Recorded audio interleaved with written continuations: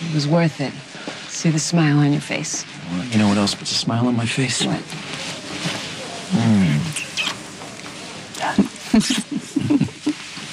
Good. You're back. I'm about to call up a Charlotte, the seven and a half year old burn victim. I'd love you to be there. I bet you would.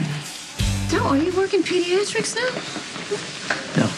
Well, not technically. Oh, so then correct me if I get this wrong. The time he spends helping you out with your patients is really taken away from time he would be spending with his own patients, yeah? It's a community. We all help each other. Because you see, I don't really see you communing with anyone else. Steve has what I'm looking for. Oh, what would that be?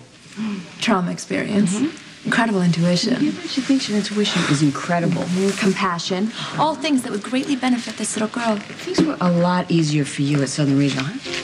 No offense, but you don't know the first thing about my time there. Oh, no, well, I know you were a big fish, bested. What you do, you just seem a little bit out of your element here.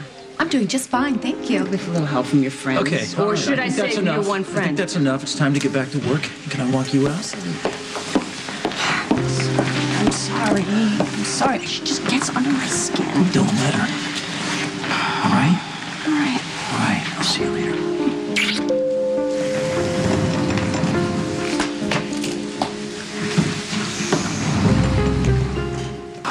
Maggie, stop. You keep bringing this up every five minutes. It's not going to get any easier. Just pretending like it never happened make it easier? That's what I thought.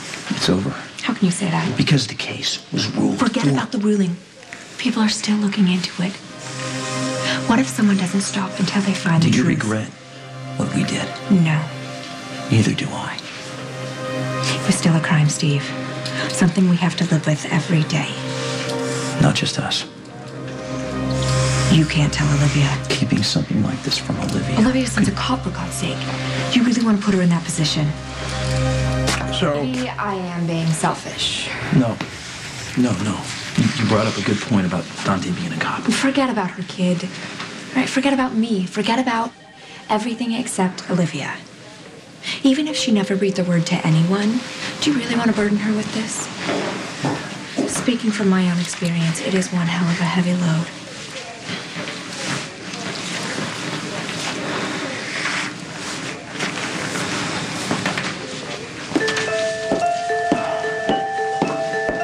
All right, listen up.